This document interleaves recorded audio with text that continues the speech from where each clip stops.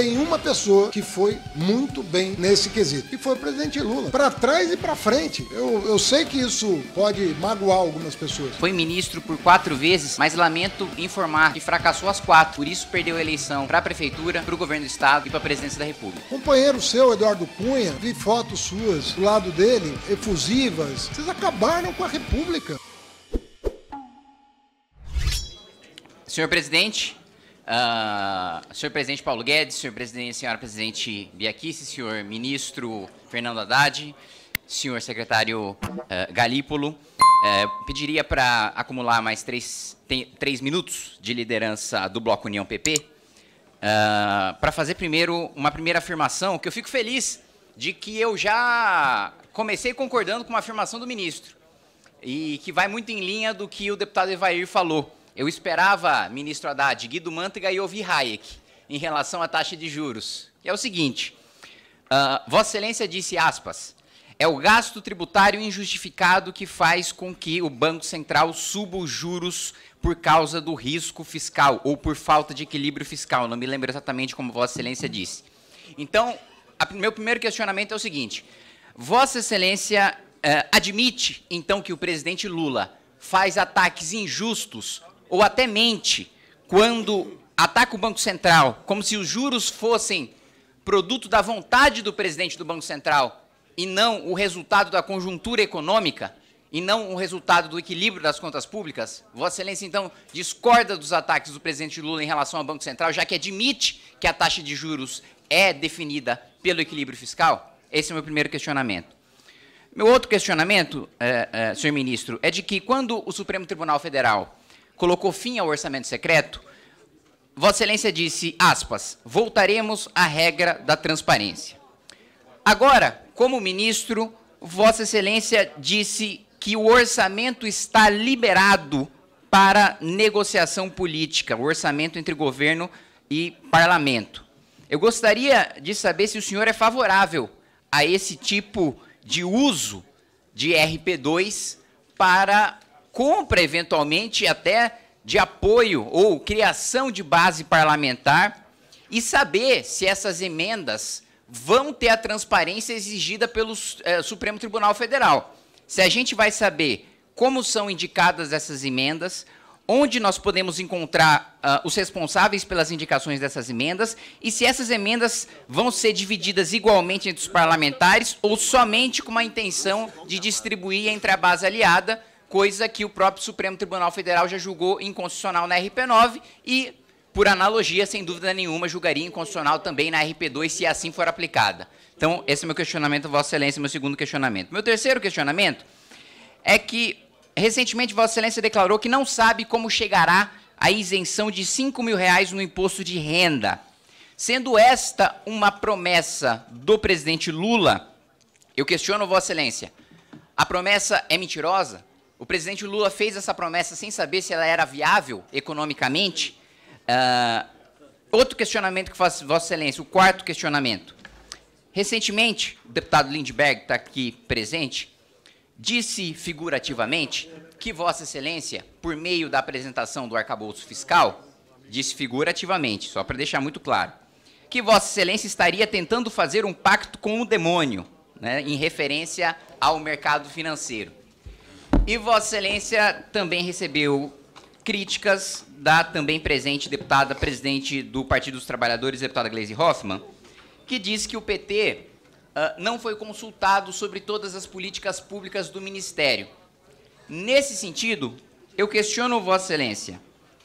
O Partido dos Trabalhadores, na sua integralidade, apoia as medidas, inclusive de ajuste, que Vossa Excelência diz pretender implementar, há apoio por parte, e aqui eu estou ao lado do líder Zeca Dirceu, do Partido dos Trabalhadores a essas medidas, porque quando nós analisamos o histórico de Lula 1, Lula 2, Dilma 1, Dilma 2, todos estes governos não agiram ou não gastaram dentro da banda que Vossa Excelência propôs no arcabouço fiscal.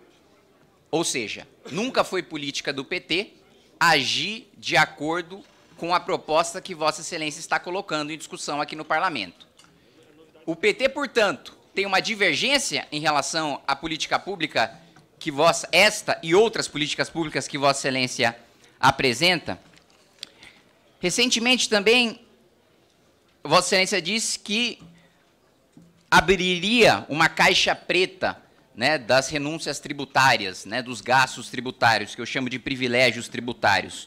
Bom, nós sabemos que a maior parte desses privilégios foram concedidos durante o governo Dilma. 458 bilhões de reais foram concedidas uh, no governo Dilma. E o senhor diz que boa parte desses gastos tributários são injustificados e que não se revertem em benefício para a sociedade. Mais uma vez, Vossa Excelência faz coro a liberais. Esse é o resultado da pesquisa do professor Marcos Lisboa, do professor Marcos Mendes, em relação aos gastos tributários. De fato, eles não trouxeram nenhum benefício ao país. Então, Vossa Excelência reconhece que a política econômica do governo Dilma em relação à renúncia fiscal foi um fracasso, como todos os estudos sérios e robustos que foram feitos apontam, inclusive por parte de um amigo de Vossa Excelência, professor Alexandre Schwartzman. Por último, uh, eu gostaria de questionar o seguinte. Vossa Excelência disse que não vai haver aumento de carga tributária, mas saiu notícia, e eu quero questionar se essa notícia é verdadeira, de que Vossa Excelência gostaria, está trabalhando no Senado para utilizar um projeto de minha autoria, o Marco Legal dos Games, para aumentar ou criar dois novos tributos.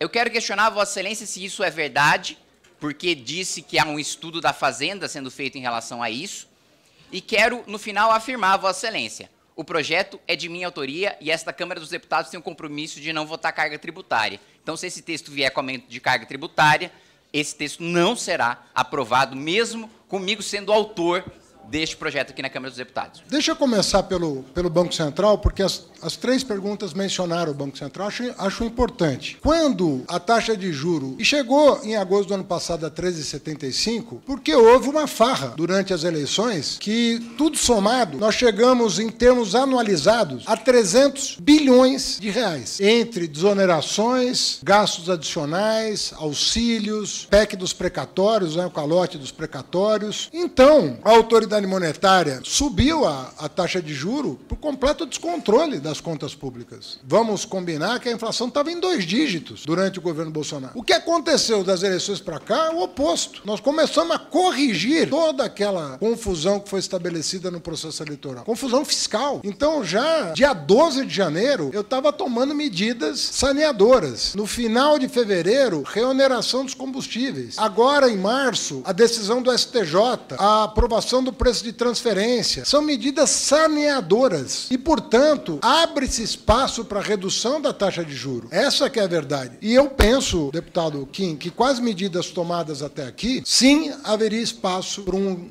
um gesto de mais confiança na economia brasileira, sem que houvesse, na minha opinião, qualquer percalço em relação à inflação. Aí, falando mais das perguntas todas do, do Kim, que foram muitas, o orçamento secreto acabou. Dizer que o orçamento está liberado, que não está contingenciado, eu só declarei que está 100% liberado. E disse isso e repito isso. As emendas impositivas, as emendas individuais impositivas, as emendas de comissão, elas estão liberadas. O Ministério da Fazenda não promoveu nenhum contingenciamento orçamento. A questão do ajuste do fiscal, aí, deputado Kim, sinceramente, aí, me perdoe a sinceridade, mas tem que olhar a série histórica. Se o senhor olhar séries históricas de juro, inflação, dívida pública, superávit primário, todas as séries históricas, se o senhor imaginar, tem uma pessoa que foi muito bem nesse quesito, que foi o presidente Lula. Para trás e para frente. Eu, eu sei que isso pode magoar algumas pessoas, mas são dados objetivos. Pegue as séries históricas do real para cá. Todas, todas, repito, as séries históricas históricas, os principais indicadores econômicos. Do plano real para cá, você vai ver que tem um período em que o Brasil voou, em todos os sentidos. Vossa Excelência disse mais uma vez, olha, eu concordando com Vossa Excelência,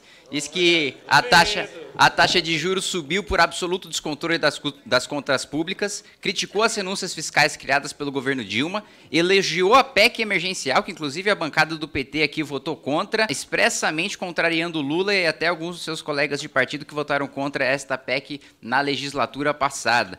Então, senhor ministro, só queria deixar o registro aqui Seja bem-vindo à oposição. Senhor ministro, eh, Vossa Excelência não respondeu se haverá transparência em relação e igualdade de distribuição em relação à RP2, como o Supremo Tribunal Federal determinou no julgamento da RP9.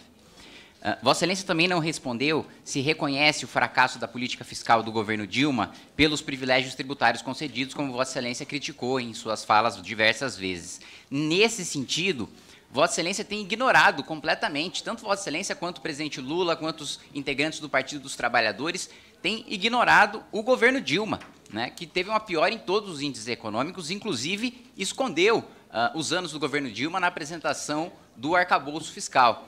Né. Um outro ponto que eu queria levantar, senhor ministro, é, em relação ao que Vossa Excelência disse, né, não é tema desta audiência, mas Vossa Excelência levantou, em relação a ter três diplomas e ter sido ministro por quatro vezes e ter sido ministro da Educação, um dos mais longevos. Vossa Excelência teve a capacidade de aumentar os investimentos em educação em quatro vezes e entregar, ainda assim, a nossa educação nos piores rankings do PISA, né, nas últimas colocações do ranking do PISA. E um outro ponto é de que uh, a quebradeira que Vossa Excelência criticou do país uh, e jogou isso né, na alta da taxa de juros o partido de Vossa Excelência contribuiu. Né? Como eu disse, o presidente Dilma concedeu 480 bilhões em renúncias fiscais. Toda medida de aumento de gasto do governo Bolsonaro, o Partido dos Trabalhadores votou a favor, inclusive a PEC Kamikaze. As três vezes que Bolsonaro furou o teto, o PT votou a favor. A, PEC, a própria PEC da transição, que aumentou também a projeção de déficit é, em, bilhões, em dezenas de bilhões de reais, o PT não só propôs, como também aprovou aqui dentro desta Câmara dos Deputados. E por último, senhor presidente, senhor ministro, como Vossa Excelência disse, foi ministro por quatro vezes, mas lamento informar que fracassou as quatro, por isso perdeu a eleição para a Prefeitura, para o Governo do Estado e para a Presidência da República. Não sei se é, se é esse debate que o deputado Kim propõe, mas eu penso que o nível, o valor total das emendas no orçamento é de quase 40 bilhões de reais hoje. 40 bilhões. Viu, deputado Kim? Entre emendas individuais impositivas, emendas de comissão, emendas de RP2, emendas de. Tudo somado, nós estamos falando de 40 bilhões de reais. É quase meio por cento do PIB. Não é pouco dinheiro. Eu acho que nós deveríamos abrir um debate sobre como canalizar esses recursos, em vez de pulverizar esses recursos, canalizá-los para projetos estratégicos, dando mais transparência. Eu não sei se existe espaço na casa para esse debate, mas como membro da equipe econômica, eu te, te diria que nós teríamos todo interesse em fazer esse debate. Pegar todas as emendas, os 40 bilhões de emenda, e verificar o que, que é melhor fazer com esses 40 bilhões. Me disponho, deputado Kim, a fazer essa discussão quando da, do encaminhamento do novo orçamento. Sentar com, com as lideranças e verificar se não, era, se não é o caso de canalizar canalizar esses investimentos para projetos mais estratégicos e de maior transparência. Deputado Kim, sobre outra vez eu vou ter que falar de uma coisa para a qual eu não fui convocado, mas é até por dever de consciência. Eu escrevi um artigo sobre alguns equívocos que eu considerei no primeiro mandato da, da presidenta Dilma. Escrevi em 2017. Eu escrevi, eu não tenho problema nenhum. Como eu elogiei a Gleisa aqui, que fala francamente o que pensa, eu também falo francamente o que eu penso. E eu escrevi um artigo, olha, eu acho que nós erramos aqui, aqui, aqui, aqui. E a presidenta Dilma já, inclusive, já admitiu. Falou, olha, primeiro mandato, publicamente. Olha, não faria as exonerações no patamar que fiz. Nós não temos problema com isso. Agora, depois da, eleição, da reeleição de 2014, eu já tenho mais dificuldade em fazer crítica, porque aí a oposição esculhambou a República, começando por não reconhecer o resultado das urnas. Começou lá. No dia seguinte da reeleição de 2014, a oposição começou a arguir, pedir recontagem de voto, arguir a urna eletrônica, essas bobagens todas que os luminares da República começou. Começou em 2014 essa bagunça. E a partir de 2015, companheiro seu, Eduardo Cunha, vi fotos suas do lado dele, efusivas. Aquela bagunça que ele fez ali, o que o Guimarães fala é pura verdade, deputado Kim. Aquilo ali foi um assassinato da República. Vocês acabaram com a República. Eram, eram as pautas bomba. Quem é que ia segurar aquele rojão? Para cada medida que você mandava, ampliava a lista de desoneração em 500%. Então como é que você vai criticar uma pessoa que não teve sua vitória reconhecida e que passou a ser sabotada. Sabotada. Então eu não tenho dificuldade nenhuma nenhum em fazer críticas pontuais a algumas medidas do primeiro mandato. Mas no segundo, na verdade, o que estava em jogo ali era uma coisa muito diferente. Era uma sabotagem contra o país, com a perspectiva de instabilizar o país. Nós estamos até hoje pagando o preço dessa aventura ao sabotar a reeleição da presidenta Dilma. Não havia mais institucionalidade, havia pura sabotagem ao trabalho que ela vinha fazendo. Presidente, teve meu direito de resposta.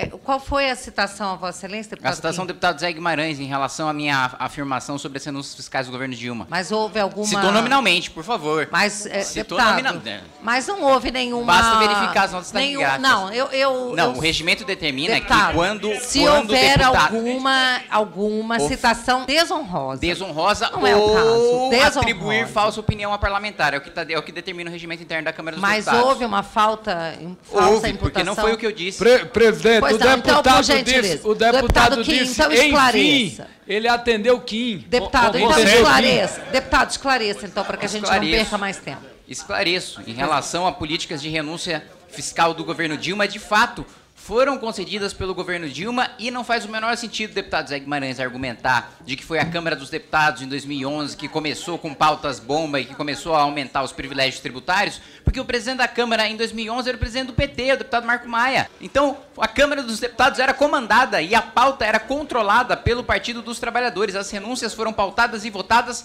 pelo Partido dos Trabalhadores. Esse- essa é a minha afirmação, presidente. Senhor ministro, é, Vossa Excelência não respondeu sobre a questão do imposto de renda, que foi prometido uma isenção. Inclusive, eu apresentei uma emenda medida provisória publicada, assinada por Vossa Excelência, para que a isenção seja da promessa do presidente Lula de 5 mil reais e não de 2 mil reais. Pergunto até se o Partido dos Trabalhadores, ou se Vossa Excelência vai ap- apoiar essa emenda para que o Lula cumpra a sua promessa, porque enquanto você tem um reajuste ali de apenas 1.900, 2 mil reais na tabela do imposto de renda, você tem gastos no Palácio da Alvorada de 60 mil reais em sofá, em 42 mil reais em cama. Então, por um lado, a gente vê o mais pobre sendo penalizado e, por outro lado, a gente vê ah, o governo gastando, estourando gastos no cartão corporativo e estourando gastos também nos seus próprios móveis de luxo no Palácio da Alvorada. E sobre minha foto com o presidente da Câmara, se o presidente da Câmara fosse Vossa Excelência, eu teria protocolado com Vossa Excelência para derrubar o pior governo da história desse país.